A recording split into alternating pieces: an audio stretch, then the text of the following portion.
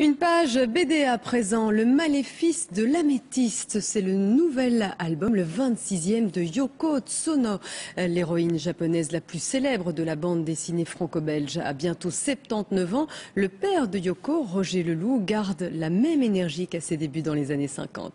Dominique Dussin. Il est l'un des derniers survivants de la grande époque de la bande dessinée belge, celle des Hergé, Franquin, Peyo, Martin. Roger Leloup les a bien connus mieux, il a travaillé pour eux. D'abord avec Jacques Martin pour Alix, puis avec Hergé pour lequel il a dessiné des éléments de décor, comme les avions de vol 714 pour Ciné ou le fauteuil roulant du capitaine Haddock dans les bijoux de la Castafiore. Une quinzaine d'années passées aux côtés du père de Tintin, un créateur extraordinaire qui avait réussi à réunir autour de lui une quantité de talents qu'il gérait avec respect, mais fermeté. Parce que c'est ça, Hergé. C'est pas un homme hors du commun, c'est un homme normal, mais qui euh, avait la passion de son métier. Ça, il, là, elle a su la transmettre. Donc. Mais je n'ai jamais, il m'a jamais pris crayon pour me montrer comment je faisais. Hergé disait toujours, ne croyez-vous pas que? Ça, savait très bien que ça ne lui plaisait pas. Mais ne disait pas, j'aime pas. Mais ça, Hergé, il avait difficile de savoir ce qu'Hergé pensait, mais moi, j'ai eu d'Hergé vraiment des bons souvenirs. Roger Leloup est heureux au studio Hergé, mais il souhaite voler de ses propres ailes.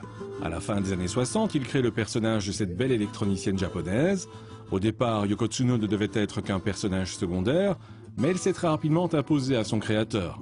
Roger Leloup lui a consacré l'essentiel de son travail, et à l'aube de ses 79 ans, il poursuit son chemin avec son héroïne asiatique. Vous savez ce qu'il y a avec Yoko et Emilia, quand je suis avec elle pour le moment?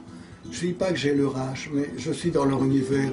C'est un bol de fraîcheur, de jeunesse et tout quand je me lève le matin, avant de commencer, j'ai mon âge à ce moment-là.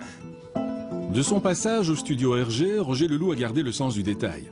Ses crayonnés sont si bien dessinés qu'ils pourraient pratiquement être publiés tels quels. Il faut dire que le père de Yoko Tsuno ne laisse rien au hasard. Il va jusqu'à construire des maquettes précises des avions ou des maisons qu'il compte dessiner. Et l'histoire continue. Alors que le maléfice de l'améthyste sort en librairie, Roger Leloup s'apprête déjà à signer une nouvelle aventure de Yoko Tsuno. Une